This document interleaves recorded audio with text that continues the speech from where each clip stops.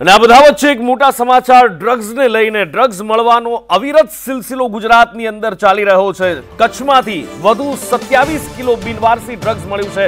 રણ વિસ્તારમાં આ વખતે અલગ અલગ જગ્યાએ આ ડ્રગ્સ હતું, જે એનસીબી અને બીએસએફે સંયુક્ત ઓપરેશન કરીને ઝડપી પાડ્યું છે. વધુ માહિતી સાથે ફોન લાઇન પર સહયોગી સંવાદદાતા જિગ્નેશ પટેલ જોડાયા છે. જિગ્નેશ, લગભગ આઠથી નવ દિવસ થયા છે. અલગ અલગ જગ્યાએથી બિનવારસી ડ્રગ્સના પેકેટ ક્યારેક દરિયા કિનારાથી અને હવે કચ્છના રણમાંથી આ પેકેટ મળી આવ્યા છે.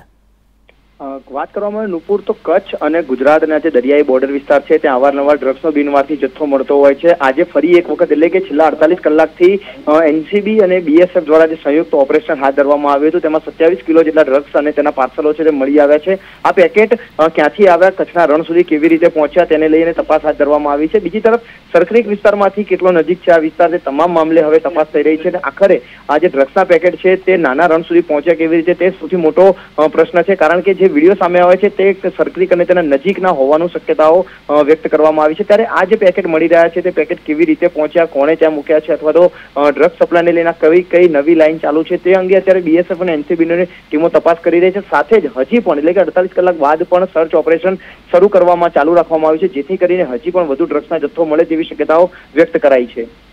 જિગ્નેશ, માહિતી બદલ આભાર.